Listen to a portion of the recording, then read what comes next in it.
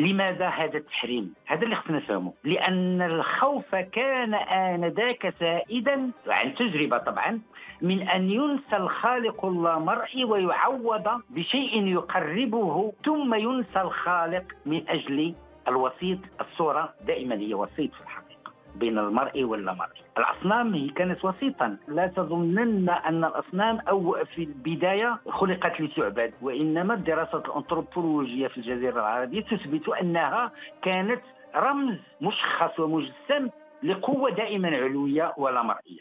إذا هذا هو الخوف الخوف من الإشراك. ولذلك حينما كتب محمد عبدو عن التصوير وعن تحليل التصوير ما هو الأساس الذي بنى عليه موقفه؟ هو أن الإسلام مستتب ولا غبار على حقيقته وعلى صحة كل ما جاء في النصوص. وبالتالي لم يعد هناك مجال لتحريم شيء حرم إذا شئت أو تم تطويقه بشكل أو بآخر. خشية عودة الإشراك وعودة الجاهلية أي عودة الممارسات الجاهلية. لأنه هذا تبرير تاريخي. لاحظ أن التبرير تاريخي ديال آه، محمد عبده. بمعنى يقول الإسلام لا غبار عليه ولسنا ندافع عنه لنثبته وإنما فقط لنرعاه.